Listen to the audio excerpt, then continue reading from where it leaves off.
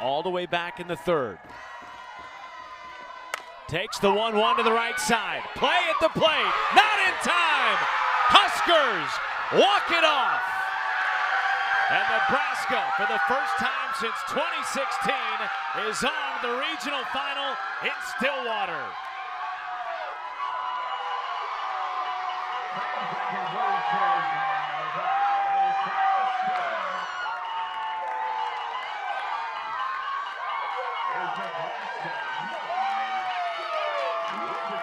Goosebumps.